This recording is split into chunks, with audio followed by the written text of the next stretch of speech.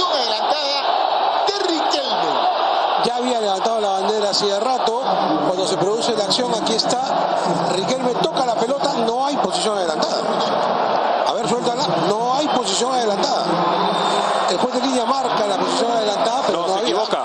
Se equivoca. Se equivoca. El juez, de línea, el juez de línea la marca de inmediato y el árbitro había paralizado todo, ya estaba todo parado. Pero no, pero no hay posición adelantada. Vean de nuevo el momento del toque de Riquelme. Ahí, no hay posición adelantada. Acá Está- se ve, está- Alberto. Está Míguez detrás. Uy, no, Miguel se habilita total. Pero totalmente, ni siquiera hay duda. ¿ah? Está clarísima la posición. Habilita Madrid, Miguel. Tremendo, tremendo error de Raúl López, ¿ah? Sí, y López de FIFA. Y López de FIFA, claro. Sí, Hubo, hubo cambio de alianza. equivocación total del asistente.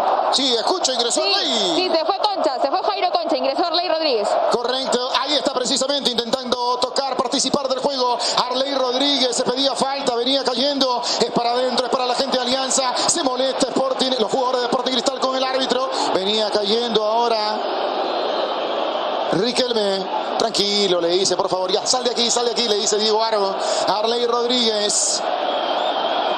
Se siguen hablando Arley Rodríguez y Riquelme, el tiro libre, Betson, el tiro libre que le corresponde a la gente de Alianza Lima. 31, casi 32 minutos de juego, señores. Aquí en el Estadio Naci- Nacional, la gran final por gol Perú. El despeje con golpe de cabeza, intenta encontrar la canchita, le pone el cuerpo por aquí, Arley. Falta, el brazo termina sacando al final. Arley Rodríguez, el tiro libre, Betson, que le corresponde Sporting Cristal, lo cobra rápido. Cale Caterra para cruzar la central. Ahora para que pueda venir Canchita. Canchita lo llama